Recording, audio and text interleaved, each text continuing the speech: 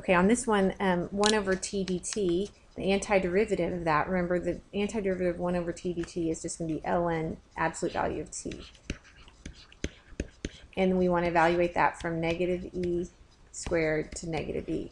So remember, this is your a and this is your b. The fundamental theorem tells you you're going to do big F of b minus big F of a, where big F is your antiderivative. So in this case, it's going to be the ln of absolute value of negative e minus the ln of the absolute value of negative e squared. All right, but the absolute value of negative e, that's just going to be e. So this is the ln of e minus the ln of e squared. But the ln of e is 1.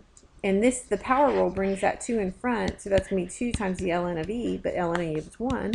So this is 1 minus 2, which is negative 1.